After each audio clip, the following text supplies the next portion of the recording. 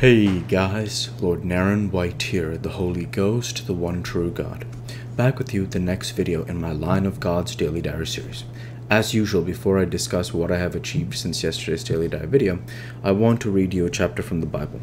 Today I will be continuing the book of the prophet Isaiah, chapter 64. Oh, that thou wouldest rend the heavens, that thou wouldest come down, that the mountains might flow down at thy presence as when the, mel- the melting fire burneth, the fire causeth the waters to boil, to make thy name known to thine adversaries, that the nations may tremble at thy presence.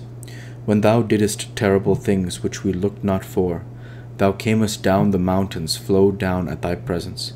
For since the beginning of the world men have not heard, nor perceived by the ear, neither hath the eye seen, O God, beside thee, what he hath prepared for him that waiteth for him. Thou meetest him that rejoiceth, and worketh righteousness, those that remember thee in thy ways. Behold, thou art wroth, for we have sinned. In those is continuance, and we shall be saved. But we are all as an unclean thing, and all our righteousness are as filthy rags, and we all do fade as a leaf, and our iniquities like the wind have taken us. And there is none that calleth upon thy name that stirreth up himself to take hold of thee, for thou hast hid thy face from us, and hast consumed us because of our iniquities. But now, O Lord, thou art our Father, we are the clay, and thou art potter, and we are we all are the work of thy hand. Be not wroth very sore, O Lord, neither remember iniquity forever. Behold, see, we beseech thee, we are all thy people. The holy cities are a wilderness. Zion is a wilderness. Jerusalem a desolation. Our holy and beautiful house, where our fathers praised thee, is burned up with fire, and all our pleasant things are laid waste. Wilt thou refrain thyself for these things, O Lord?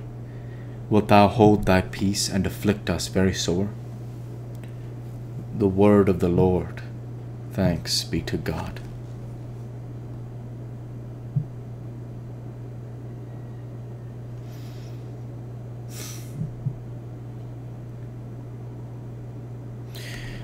One thing we're going to go ahead and start here in terms of my analysis of Isaiah 64. I like this.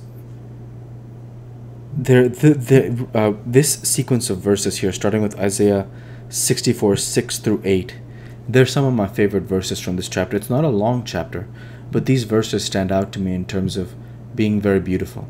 So let's go ahead and read these verses again.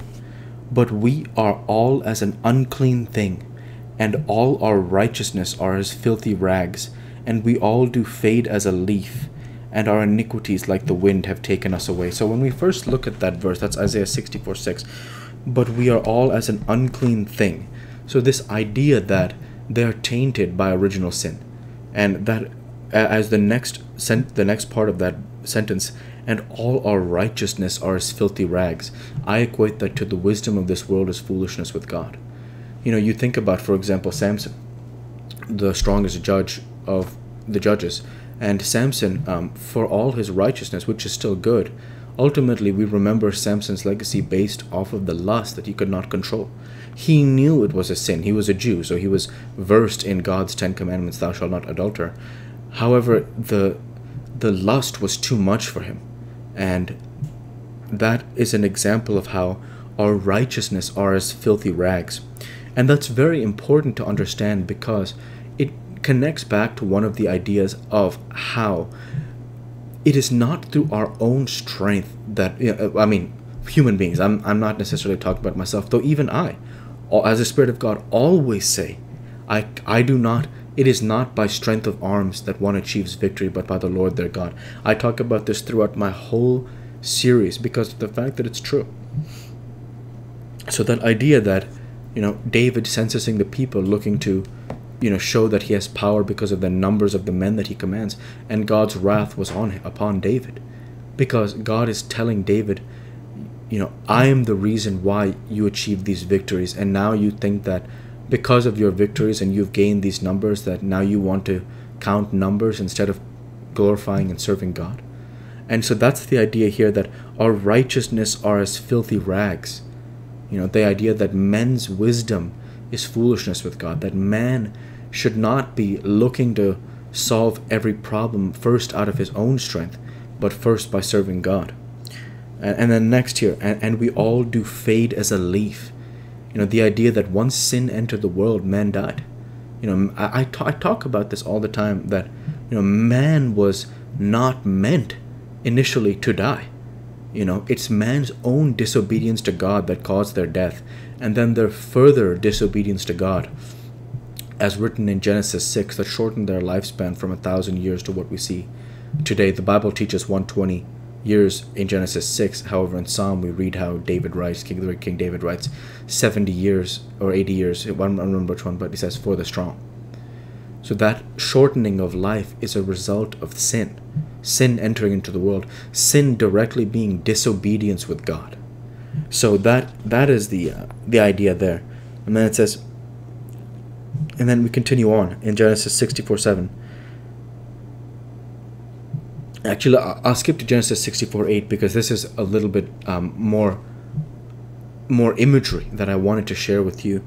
Um, because here it says Genesis 64 8, but now, O Lord, thou art our Father, we are the clay, and thou art potter, and we are all the work of thy hand. You know, I think about the verse in Genesis a lot, and I, I think it's just so beautiful because um, you get an idea of, of how the creation, what the creation of man looked like, which is not this like um, for you know in this time period like uh, there's a show called game of thrones. And on game of thrones there's this character called the night king who's the king of these evil people called the night walkers. And one scene he raises his hand at the this battle of hardhome and he raises all the people from the ground and their eyes are like blue and they're like necrotic basically like they're undead. That is nothing like what the creation of man was. And we see here um, uh, how beautiful it is. Um,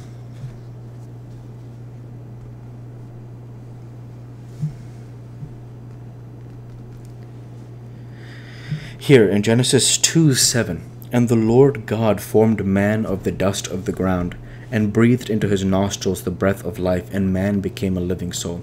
So that is the idea there. The idea that God breathes into the into man. Let me read it again. And the Lord God formed man of the dust of the ground and breathed into his nostrils. So God breathing into the nostrils of the dust of that he just he formed man out of the dust. And then you see here the verse in Isaiah 64 8 reads, We are the clay, and thou art our, thou art potter, and we all are the work of thy hand. So that idea that here, and the Lord God formed man of the dust of the ground and breathed into his nostrils the breath of life, and man became a living soul.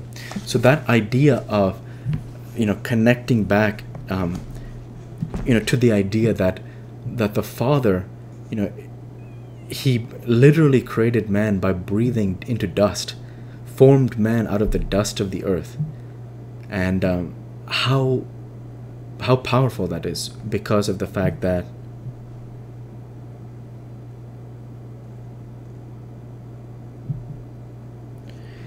it shows a good amount of respect to the creator godfather for everything that he's done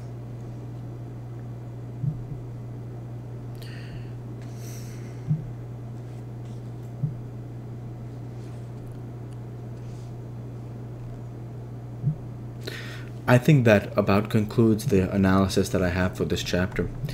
So with that now, I'll go ahead and transition over to what I have achieved since yesterday's daily diary video. Since yesterday's daily diary video, I worked at my chest, I worked at my legs, I created, uploaded, and will schedule today's daily diary video for 12:30:23. And uh, other than that, I have no further uh, achievements that I want to share. So with that, I want to go ahead and say Thank you for watching and I hope you enjoyed. Please like, comment, and subscribe as it greatly helps the channel. Light to be with you all. Take care and thanks again.